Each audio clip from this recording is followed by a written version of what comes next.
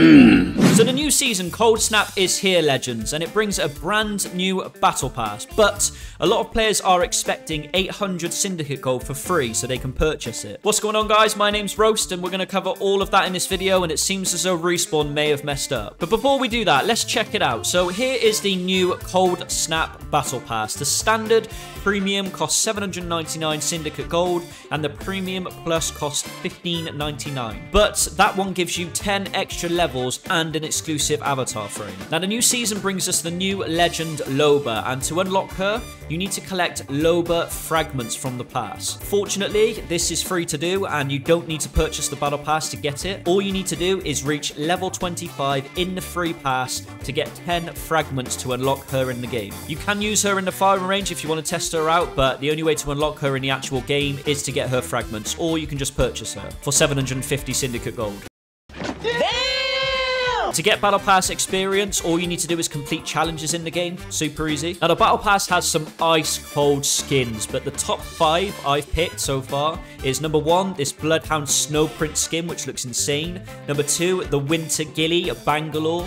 Number three, the Frozen 1 R301 skin. Number four, the level 50 Octane skin, which is my absolute favorite. It looks insane. And then finally, they have a brand new EVA 8 Evening Snow shotgun skin, which all in all, I think the Battle Pass looks great. I think Respawn have brought us, you know, an amazing Battle Pass. But as I said at the start of this video, a lot of us expected to get this for free when maxing out the Season 1 Primetime Battle Pass. Now, let me break it down for you guys. So before the season started, Respawn a few weeks ago during Season 1 released released an in-game announcement which stated that starting from the launch of the season, which we thought was Cold Snap. 800 Syndicate Gold will be provided with the completion of the Season 1 Premium or Premium Plus Pass. Now, I've got confirmation from an actual developer that this was actually a typo and it was worded very badly, as we all thought that by completing the first Primetime Season 1 Battle Pass, we get 800 Syndicate Gold ready for the new Cold Snap Battle Pass. Now, they actually changed that in the patch notes and it actually says now that starting from the launch of the season,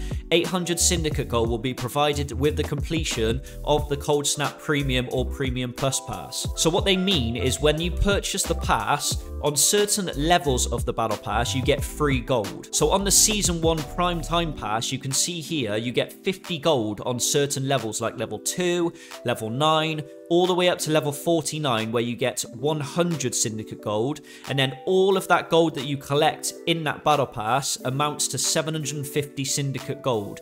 And then they stated that you also get an extra 50 Syndicate Gold to make it a total of 800 sent to your in-game mail which again all amounts to 800 ready for the Cold Snap Battle Pass. So technically guys, if you think about it, if you buy the first Battle Pass and you don't spend any of that gold every season and you max out the Battle Pass, then you can use that gold to purchase every Battle Pass going forward every season. This is exactly what they do on PC and console, but it was just worded really badly on the mobile version. It was worded so that we all thought, you know, we were getting 800 gold automatically ready for this season's Cold Snap Battle Pass, but that's not the the case. I feel so bad, guys, because I feel like I've spread this sort of misinformation on that typo that they've done in the announcement. So I'm trying to see if I can get Respawn to compensate the community somehow. But for me personally, as a token, I want to give you guys five battle passes on this video. I know it's not much, but I wanted to give you guys as a token because I feel like I've spread that misinformation. And I want to provide the best information possible for Apex Legends Mobile. So aside from the battle pass, guys, the game has actually brought us a new store vault called the Winter Warfare, which contains some insane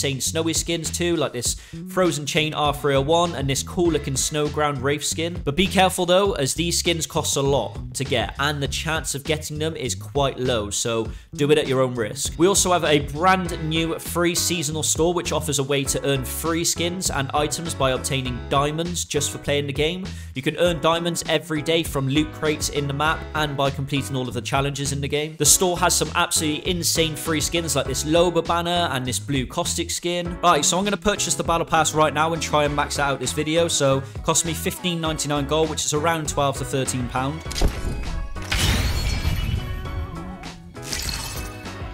You get this insane Bloodhound Snowprint skin, which looks insane. We're going to quick equip that. We also get this amazing Devotion skin, and we get 10 automatic levels in the pass. I'm going to claim everything right now, so we get some more Loba fragments, we get some more gold, so we get 150 SG right now for hitting level 11 in the battle pass. So there's a 30% discount for purchasing levels right now, so we're actually just going to max it out for 3,276, which is costing me around 40 English pound, which is around $60. So I'm going to claim everything right now. So we have maxed it out, level 50. So I'm going to show you exactly how much Syndicate Gold I get, okay? And here it is, guys. So at the moment, you can see if you scroll right to the end. So for maxing out the pass, I just got 800 Syndicate Gold just for maxing it out. So if I save that Syndicate Gold now that I've got in my inventory, then I'll be able to buy the next Battle Pass for free. All in all, I think this season looks great so far. I have heard that there's some more bugs in the game and the optimization isn't that much of an improvement. And again, the bugs are the main thing. Like some of the main bugs that they should have been working on, they they